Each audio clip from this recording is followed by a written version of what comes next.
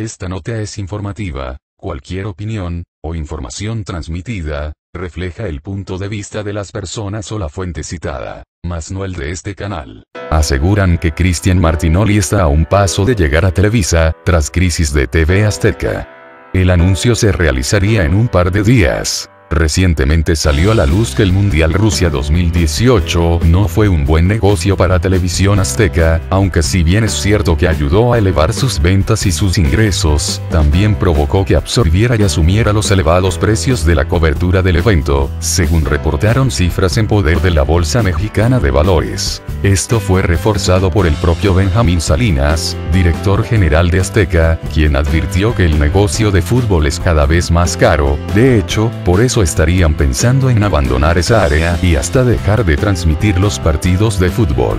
Tras revelar esta información, ahora se dice que Televisa busca al comentarista deportivo Cristian Martinoli para que se sume a sus filas. De acuerdo con algunos rumores Televisa lleva años intentando convencer a Martinoli de que se vaya con ellos, de hecho, se dice que el comentarista ya habría aceptado reunirse con ellos, pues no tendría asegurado su trabajo en TV Azteca. Se dice que la empresa de San Ángel le bajó el cielo y las estrellas con tal de que diga que sí.